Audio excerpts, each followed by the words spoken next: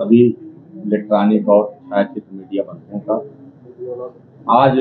जम्मू कश्मीर के लिए बहुत हर्ष का और खुशी का विषय है, क्योंकि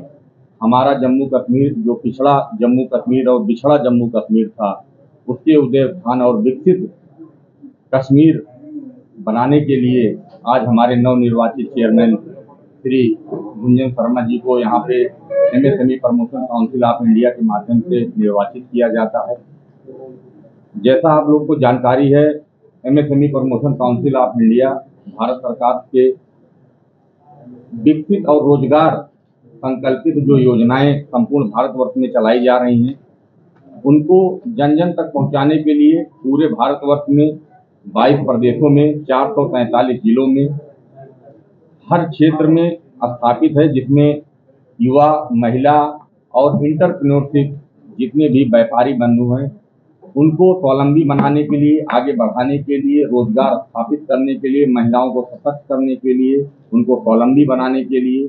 हम लोग MSME promotion council of India के माध्यम से संपूर्ण भारतवर्ष में एक अवेयरनेस का प्रोग्राम कर रहे हैं। जिसके संदर्भ में अभी आपके नवनिर्वाचित चेयरमैन श्री जुंगन जी की नियुक्ति हुई है।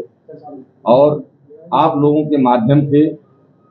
संपूर्ण जम्मू कश्मीर में, जो हमारा जम्मू कश्मीर लोगों की निगाहों में बिछड़ा कश्मीर कश्मीर कहा जाता था, पिछड़ा कश्मीर कहा जाता था, यहाँ पे युवाओं को रोज़गार के संदर्भ में, महिलाओं को सशक्त करने के लिए, और जो हमारे छोटे उद्योग व्यापारी हैं, या छोटे जो हमारे इंडस्ट्रियल डेवलपमेंट अथॉरिटीज के जुड़े हुए सारे इंटरप्रेन्योर बिजनेसमैन हैं, उनको बढ़ाने का हम लोग काम कर रहे हैं।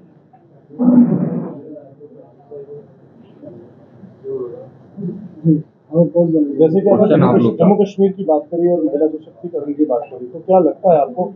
आपके द्वारा जम्मू कश्मीर के लिए और क्या क्या नई चीज़ें आ सकती देखिए भारत सरकार और प्रदेश सरकार द्वारा महिलाओं के सशक्तिकरण और रोज़गार को लेकर बहुत सी ऐसी योजनाएँ चलाई जा रही हैं जिनको हमारे आपके बीच में अवेयरनेस की कमी है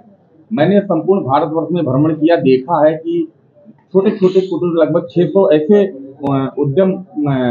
कार्यशालाएँ हैं जिनके माध्यम से हमारे घर की बहन बेटियाँ, हमारे घर की महिलाएँ सशक्त हो सकती, मज़बूत हो सकती, स्वावलंबी हो सकती, आत्मनिर्भर हो सकती हैं। उन योजनाओं को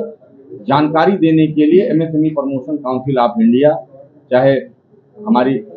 मैडम के माध्यम से, चाहे चेयरमैन के माध्यम से या काउंसिल के माध्यम से हम लोग उनको मज़बूत बनाने का काम करेंगे। जम्मू को रोज़गार और विकसित जम्मू कश्मीर बनाने का कार्य। जैसे जैसे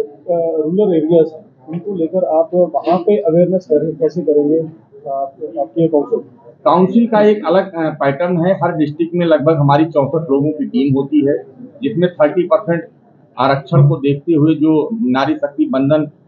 अमेंडमेंट आया उसको देखते हुए उसमें सैंतीस परसेंट महिलाओं की भागीदारी सुनिश्चित की जाती है। उन महिलाओं के माध्यम से और जो ज़िले की कार्यकारिणी है चौसठ लोगों की टीम के माध्यम से हम लोग गाँव गाँव ब्लॉक ब्लॉक और ज़िले के कोने कोने तक पहुँच के अवेयरनेस का प्रोग्राम करते हैं।